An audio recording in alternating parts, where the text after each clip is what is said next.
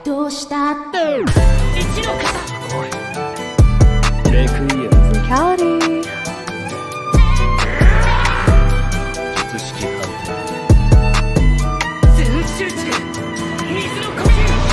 Oke teman-teman, so di video kita kali ini kita masih main anime Dimension dan ya eh gue masih belum dapat Luffy, sumpah susah banget. Tapi gue udah ngumpulin lumayan banyak token rate ya, jadi udah 800 dan Luffy harganya 3600. Dan ternyata ini ini tuh pet teman-teman ya. Ini tuh bukan karakter. Gue kira kalau gue gacha ini gue dapat karakter gitu kan. Ternyata enggak. Ini pet teman-teman ya. Kemarin ada yang ngomong di chat juga di komen. Ini tuh pet bang, bukan bukan dapat karakter ya. Jadi ya. Jadi ya kalau mau dapetin karakter jadi kalian emang bener-bener harus nabung sampai 3600 dan nggak susah-susah banget sih sebenarnya ya. Kalau kalian udah levelnya tinggi ya. Kalau kalian udah levelnya tinggi, satu kali main tuh bisa rewardnya nyampe I don't know, mungkin bisa sampai 20 gitu, 25 mungkin teman-teman ya. Kalau gue sih cuma sampai nyampe 18 teman-teman ya. So, di video kita kali ini kita akan ngelihat karakter ini teman-teman ya, Astolfo, oke. Si Astolfo. Jadi kalian bisa beli ini limited, harga 2500. Kita akan lihat apakah dia worth it apa enggak teman-teman ya. Kita akan nyoba langsung di raid ya. Di tempatnya raid, di tempatnya si siapa namanya? Eh, Luffy atau Esper ya, gue gak tahu sih. Eh, kayaknya sih Esper dulu sih teman-teman ya karena Esper sebenarnya kan abis nih Eh, Luffy emang masih lama gitu kan Luffy kalian bisa beli pakai token gampang lah ya cuman Esper ini Esper katanya sebentar lagi nih dia bentar lagi bentar lagi habis dia kan juga limited kan sama-sama tuh kan sama-sama limited jadi kayaknya kayaknya bagusan ini bagus bagusan kita mainnya Esper dulu sih sebenarnya harusnya ya. Jadi ya ya gitulah. Kalian komennya di bawah cuy. Menurut kalian eh, lebih worth it yang mana ini ya? Dua ini ya. Kayaknya kalau misalkan gua kumpul gua antara beli Luffy kalau nggak gue beli si Esper ini nih.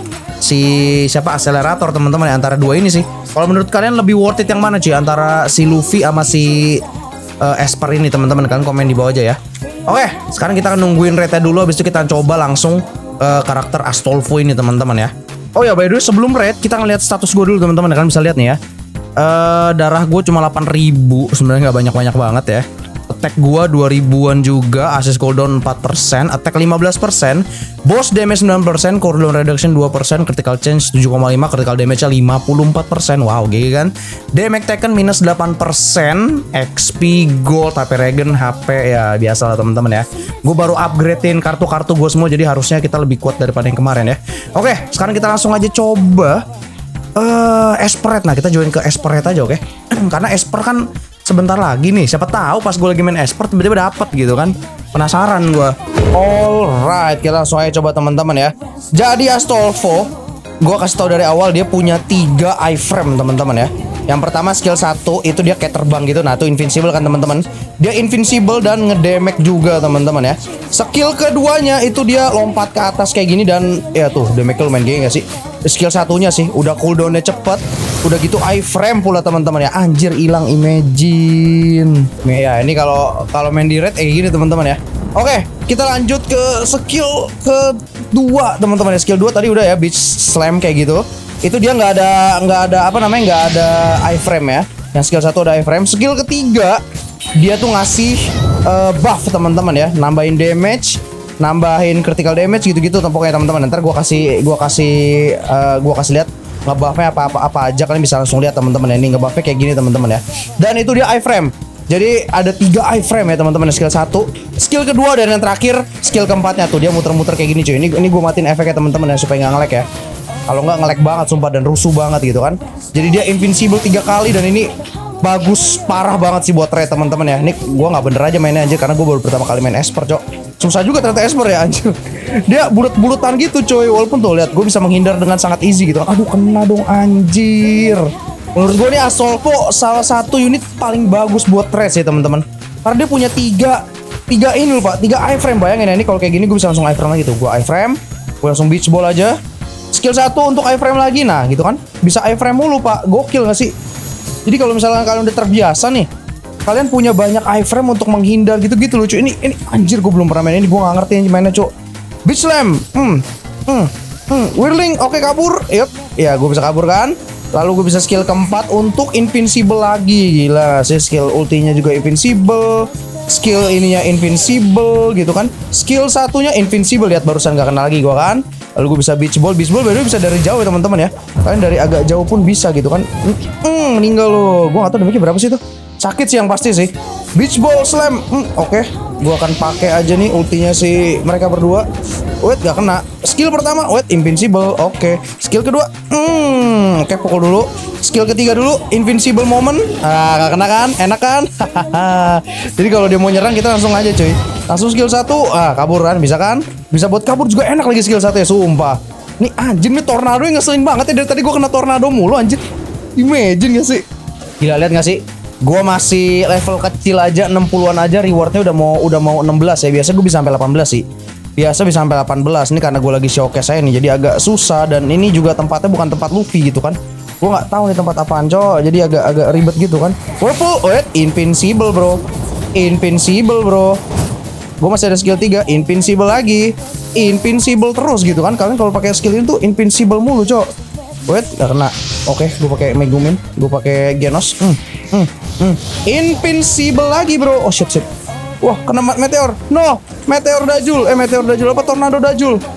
Ini tornado ngeselin banget sumpah.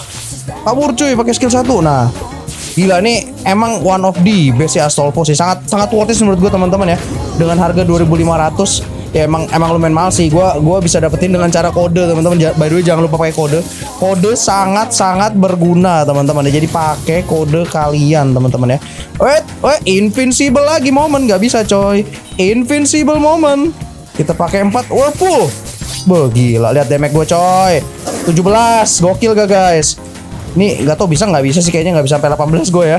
Karena gue lagi showcase jadi fokusnya jadi berkurang teman-teman. Jadi nggak apa-apa lah teman-teman ya kita kita sampai reward 17 bayangin gue masih cupu loh. Kartu gue aja masih cupu banget tapi gue bisa sampai reward 17 gitu. Hanya dengan menggunakan Astolfo pak. Damage paling gede dari Astolfo sih gue tuh lihat ya.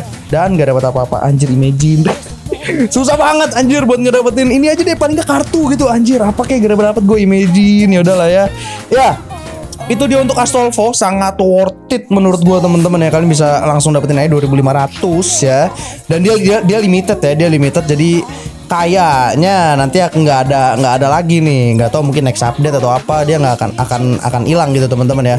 Dan untuk yang baru ini ternyata ini kalian bisa dapetin dari yang paling baru teman-teman ya. Kalian bisa dapetin dari ini dan dia sepersen doang nggak terlalu langka lah ya.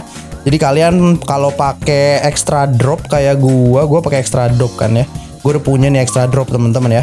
Tuh jadi kayaknya nggak begitu susah. Tapi gue belum bisa nih karena gue masih level 67 anjir. Jadi ya ya udahlah ya. Ini Asolvo juga by the way bagus banget untuk kayak kayaknya bagus untuk bolt rush gitu-gitu teman-teman ya. Boss rush lalu untuk uh, speed rate. Ini speed rate juga bagus banget. Kenapa? Karena ya dia kan nggak diganti-ganti kan. Kalau red kan kalian ganti-ganti karakter tuh sama Megumin sama Genos gua nih ganti-ganti karakter sama asis kalian. Tapi kalau kalian main speed uh, speed trade dia kan pakainya tuh dia karakter ini doang kan. Nah, itu jadi bagus banget Pak, sumpah Pak. Kalian langsung cepet banget. Tadi gue gue coba speed trade dengan darah 2M ya musuhnya ya. Musuh darah 2M itu gue kelarin dalam waktu 4 menit. Ya, 4 menit gokil nggak guys? Hampir S loh. Itu A loh teman-teman, gokil gak? Padahal gue cuma pakai pakai pakai Astolfo doang sama ya kartu gue lihat lah kartu gue burik begini coba lihat kartu gue apa bagusnya nih gold anjir imagine gak ada gold gitu kan. Ini di sini ada XP lihat tuh. Kartu gue jelek-jelek sebenarnya teman-teman ya. Tapi gara-gara Astolfo-nya jadi bagus gitu. Nih kalau kalian mau lihat uh, dia ngebuff tuh ya 15% attack 10% critical ya untuk 14 detik dan itu ke semua teammate nggak cuman kalian doang teman-teman ya. Tapi dia nggak ngestak sayangnya. Jadi kalau misalkan uh, misalkan damage kalian udah damage dari kartu nih ya udah 15% nah itu gue nggak tahu apakah bisa ke stuck lagi. Soalnya di situ tulisannya does not stuck nih. Jadi kayaknya sih nggak ngestak sih maksimal 15% ya. Jadi kalau misalkan kalian itu udah punya misalkan contoh kalian udah punya 10% attack gitu ya uh, pas di buff itu jadinya 15% nggak jadi 25 nggak gitu kayaknya sih. Jadi totalnya tetap 15% teman-teman ya So ya, yeah, uh, it's not that bad ya Asolvo GG banget sih menurut gue sih teman-teman ya dengan tiga iframe pak. Skill satu iframe, skill ketiga iframe, skill keempat iframe, skill keduanya karena lompat gitu bisa menghindari pak. Enak banget sih. Udah gitu, udah gitu cooldownnya sih. Cooldownnya pak. Lihat cooldownnya lah 6 detik skill pertamanya ini ini ini iframe loh 6 detik pak iframe mulu kalian bisa iframe terus-terusan coy. Yang beat slamnya juga kalian bisa lompat gitu kan, lempar dari jauh pun bisa. Wah enak banget sih. Saya itu dia untuk Astolfo ya video kita cukup sampai sini aja teman-teman. Thank you buat kalian semua yang sudah menonton dari awal sampai akhir. Like jangan suka, dislike kalau kalian suka, subscribe jangan mau, nggak usah apa Kita ketemu lagi teman-teman di video berikutnya. Bye bye. Ciao.